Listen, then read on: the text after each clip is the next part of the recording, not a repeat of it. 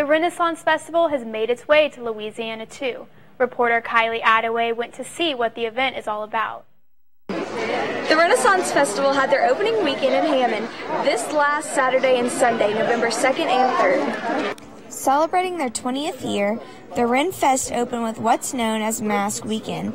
Though visitors are encouraged to dress in their best Renaissance costumes for the entire length of the event, directly following Halloween, Mask Weekend was the perfect way to kick things off. This is Mask Weekend, so you got people in their Halloween outfits and stuff. Fits. The Ren Fest offers shows, games, and a unique shopping experience.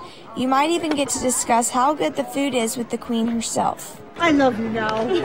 Thank you, good lady. Of course, it may not love you, but I do.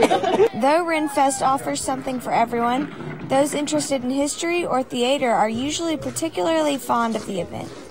A large amount of those involved in Renfest actually have a background in theater, including one of the jousting knights. My background was in Irish boxing and outdoor theater and classical theater. This stupidity was just the extension of, of what I was already doing. If you're interested in attending the Renaissance Festival, look up their Facebook page or website. For Tiger TV News, I'm Kylie Attaway. Thanks, Kylie. The Renaissance Festival is open every Saturday and Sunday through December 8th.